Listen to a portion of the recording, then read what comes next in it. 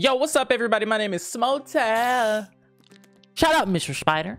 And welcome back to another video, my friends. We are going to be looking at what the roofs in Hytale are going to look like. What can we expect with roofing or roofing, I think. What roofing, what, what we can expect with roofing being added to a game like Hytale um uh and yeah we're just gonna look at the mechanics basically uh i have a roof mod installed right now on minecraft and i'm just playing around with it trying to get the feel of how roofing would look on an actual building um now keep in mind my builds suck i am not the best builder i just whipped something up here like a nice little house.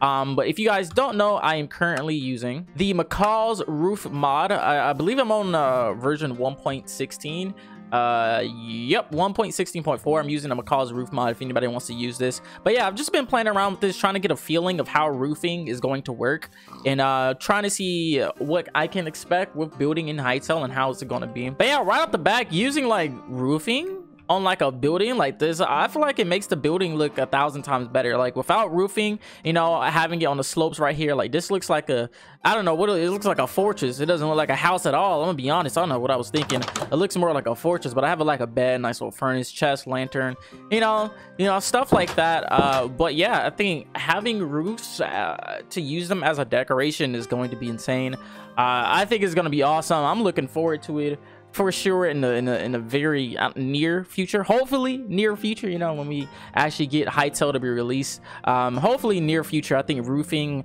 is going to be awesome. Roofing slabs you know the whole building mechanics that Hytale is going to have in the entire game is going to be absolutely insane. We can maybe even have roofing as being like a nice little slope uh, type style as you can see here you can actually walk up it. You know it could be like stairs in, in a way you know a replacement for stairs. Um, i wish i could like you know put this in more detail. I'm not the best builder in the world. You know i i, I really do suck. Um but um this is pretty much the best i could possibly do with roofing. Hopefully if i ever make my own survival series i'll actually like really go deeper and deeper into roofing um but yeah i feel like this is just like a little taste and like like just a little 10 percent of what we can actually expect into Hytale i think uh Hytale is gonna probably make this and, and, you know shoot it to the stars or something. Roofing is gonna be I, i'm super excited for roofing. I mean i'm just gonna say that. I'm i am very very very excited for roofing. But yeah hopefully this video gave you a little bit of insight on what we can expect with roofing inside of Hytale what we can expect some of the buildings to look like or what mechanics the buildings will have using slopes like this as part of the actual building themselves. You know you could place this down right here and you know do something like that or something. I'm not sure. Um but yeah it could really really look absolutely amazing. Like it works so well. Look at that.